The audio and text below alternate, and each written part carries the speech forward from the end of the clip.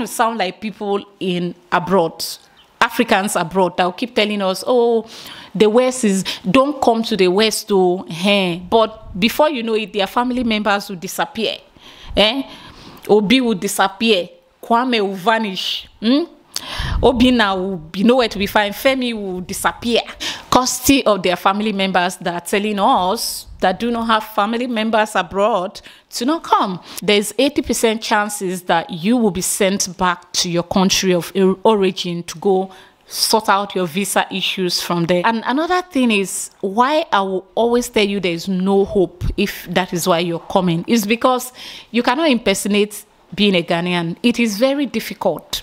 Hello, hi, welcome back again. Thank you for joining me. If you are new here, hello, welcome. My name is Lily. For the past few videos, like I've been talking about a particular topic, which is moving from Ghana to the Western countries as a Nigerian. The other one I talked about why you shouldn't come. Then the recent one, but it was a vlog. I talked about it. I didn't give my reasons. Just had a conversation with a friend. I wanted to quickly talk about it so I don't forget. So I did that, but there were no details I didn't explain a lot of things because it was a vlog and I was in a hurry to just move on to other things.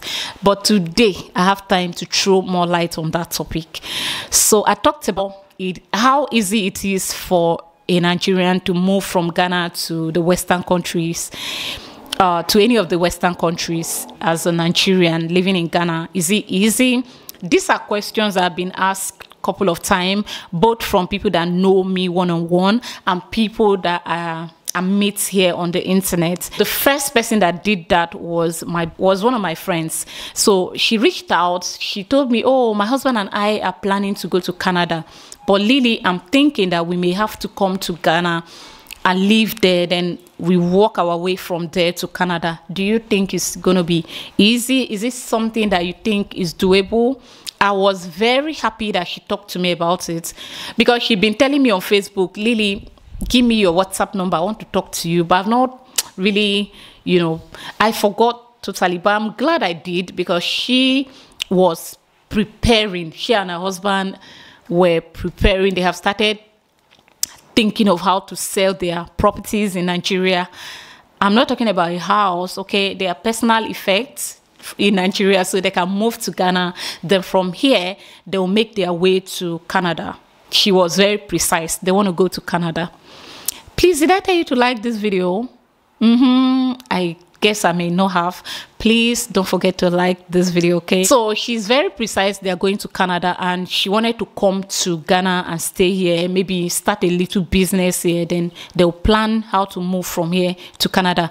So I discourage that in this video i'm going to tell you why all these things are impossible okay so you don't think I, I don't i don't want to sound like people in abroad Africans abroad that will keep telling us, oh, the West is, don't come to the West to, eh. But before you know it, their family members will disappear.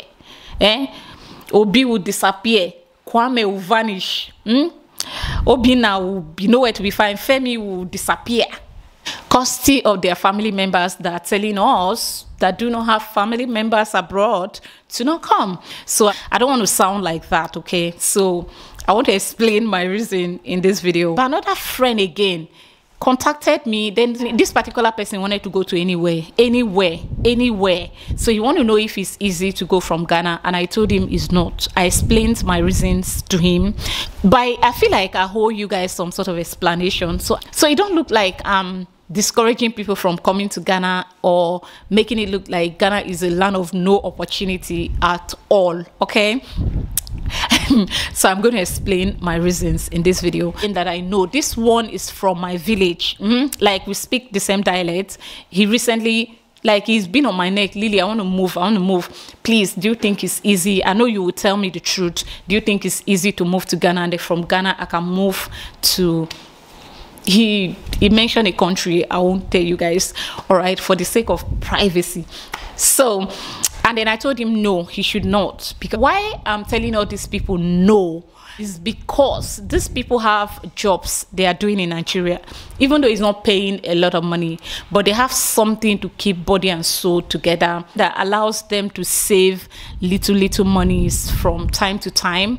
I mean, after paying their bill, they have little monies, even though it's very, very small, that they are setting aside. They work on their intention to move. I mean, as they work on the visas to relocate, they have little, little monies that they are setting aside to be able to, in case the visa comes out for them, in case they are lucky, they get picked, they'll be able to pay for flight tickets and also do other things that may be required of them. So this is why I told them not to come to Ghana because them leaving Nigeria to Ghana will mean they are going to you know quit the job or businesses they're doing back in Nigeria.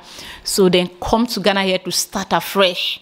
And then as they try to start afresh, they are going to spend the money that they have been able to save since you know this time. And then if at all there's something i don't know maybe is happening for nigerians in ghana to be able to move then by the time that happens if at all it does happen by the time that happens they may not have money to pay for tickets or basically present whatever they need to present. You see my reason for saying no. You know, at the beginning of my channel here, I met a lot of people that said they are from Ghana and they like Nigerians a lot. Some of them said in the 80s they were living in Nigeria and life was good. And then from Nigeria, they made their way to other countries in the West and they are doing amazing. So after some time, they had to come back to Ghana and work their papers. So these things you know, can happen. Anybody can help anybody. In that video, I talked about a Nigerian guy that I know. Okay, I see. It's not like I don't keep secrets. I keep people secret, but if I'm saying it like this, you never know who I'm talking about, right? But I like to share so that you will know that I know like I'm aware of certain things that happen. So this is my main reason of telling them not to come. And I strongly believe that if you are in Nigerian and you are in Ghana and you're planning to move from here to any country in the West, there's 80% chances that you will be sent back to your country of origin to go sort out your visa issues from there. So what will be your profit coming here thinking that from here you can easily move then you, when you have to like pay your flight ticket back to Nigeria, if you're the type like me that can manage, that can bear stress, it means you're gonna go to Nigeria, Lagos or Abuja on the road for hours, for hours, trying to get this visa sorted, trying to, they'll tell you come today, come tomorrow. Maybe you go for interviews today because you're not the only one. There are a lot of people on the queue. They'll send you back to come again another day. So you see why I do not encourage. So if you have it in mind to go to any Western country, Ghana is not the place for you okay? It's not because it been is like before where when you live here for some time okay someone was okay uh, out of pity a friend of yours will you know work things for you the african way the gentleman way by telling you okay say this say that. And if it's like that i won't have discouraged you if you know anyone that can take risk for you. Some of us i know there are a lot of people including some of my subscribers that can do that for me. But right now, things are no longer like that. You get it.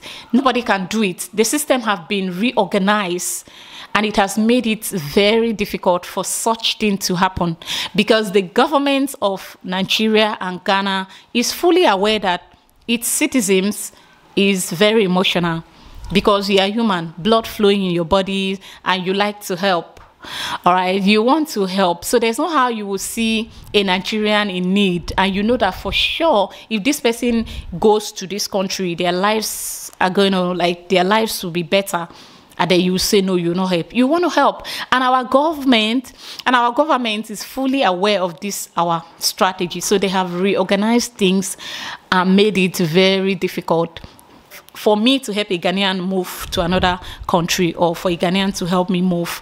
So now things are strictly, if anybody wants to, the highest help they can give you is maybe give you money. So this is why I advise my people to stay back and do their thing back home if you want to move. But if you want to come live in Ghana, you're highly welcome. I cannot discourage you, especially if you're coming if you are coming from Nigeria and you have something in mind that you're going to do when you get here. You're highly welcome. But the one I'm still discouraging up to date, you should not come to Ghana to be able to move if you're coming with the sole aim of trying to see, figure out how to go. Very understandable. The embassies in Nigeria are currently overwhelmed due to the number of people currently looking to leave the country. Yes, that is the reality. So that is why I said in that video that nobody should come, okay? Yeah, of course. Um, we we we made our things difficult for us. Some people want to help someone like me right now, but nobody can take the risk because I'm a Nigerian. They feel like, oh, if they help this lady, she's going to she's going to get me into trouble. After all, other people from her country don't have good reputation and it's going to bring regret. So nobody want to you know be part of it. I know right? So and another thing is why i will always tell you there's no hope if that is why you're coming is because you cannot impersonate being a ghanaian. It is very difficult.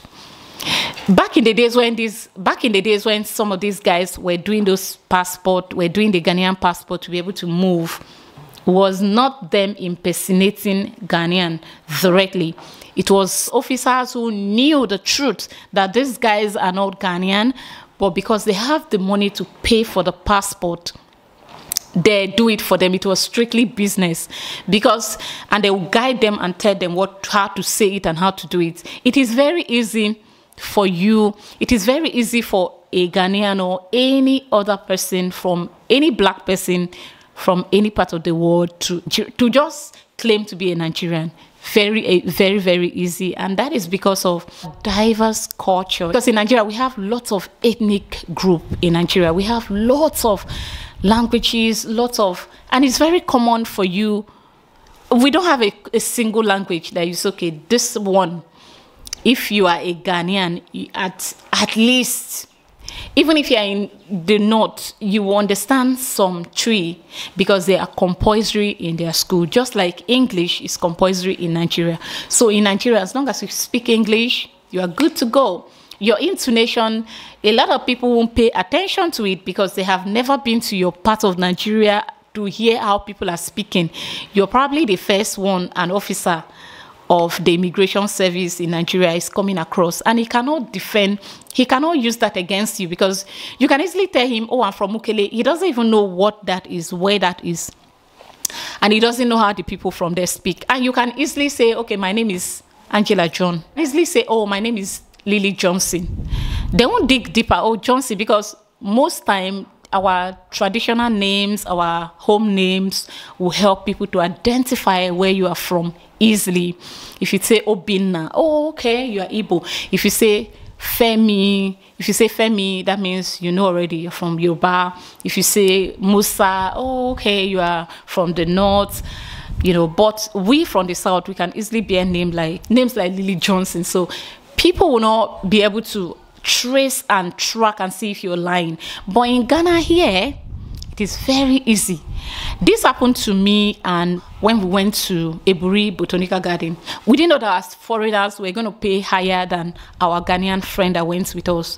We have a Ghanaian friend whose mom is Ghanaian, her dad is a Nigerian, and she was born in Ghana. So three of us went there together, and then they asked us at the gate. Um, they told us, okay, if a foreigner pays 20 cedis and Ghanaians five cedis. So my friend was now telling her that we are Ghanaian.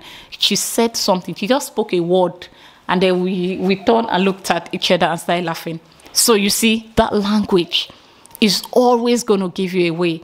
So this is why I am saying that nobody should come here for that because you're going to waste your time, and at the end of the day, it won't be achieved. It means you going back home, you having to rearrange your life here to be able to move to the west. So this is why I say it is it doesn't work, okay? Maybe it will work out. Me, I'm waiting for someone to tell me I'm lying by daring me to help me move.